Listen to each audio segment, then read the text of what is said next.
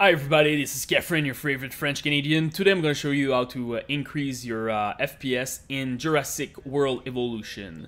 This game is very well optimized for me. Uh, if I compare this game with Planet Coaster, Planet Coaster I, I, had like a lot of struggle to run this game at 60 FPS uh, smoothly.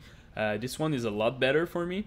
So I will show you a couple of tricks that you can change uh, graphic parameters to increase your FPS. So first of all, we will use the config file to change the parameter in this game. So to find the config file, you have to go to users, uh, the number, the uh, name of your computer, app data, local, frontier development, Jurassic World evolution, config local. Open the graphic setting here with uh, Notepad++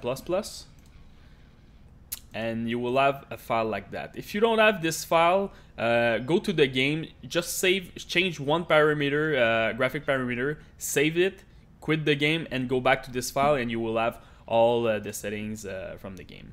So for me, really important, first of all, is the shadow. Quality shadow, put this at zero, reduce collect here, false, and zero cascade count. Um, this one will give you like 8 to 9 FPS depending where you are in the map, but just removing shadows in this game, you will gain a lot of FPS and it will and your game will be a lot smoother.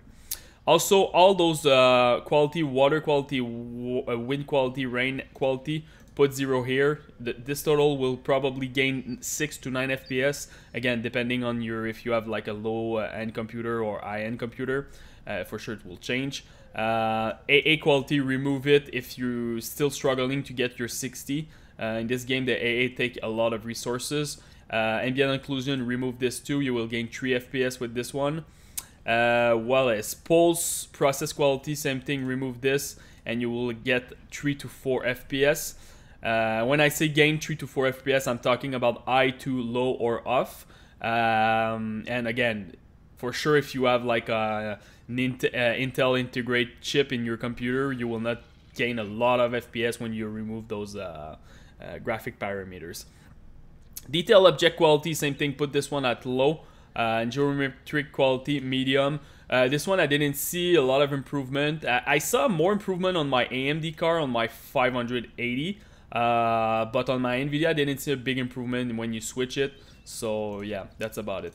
And the last one, screen space reflection. This one put it at zero. Uh, you will gain 3 to 4 FPS reflection. Again, it's taking a lot of resources in this game.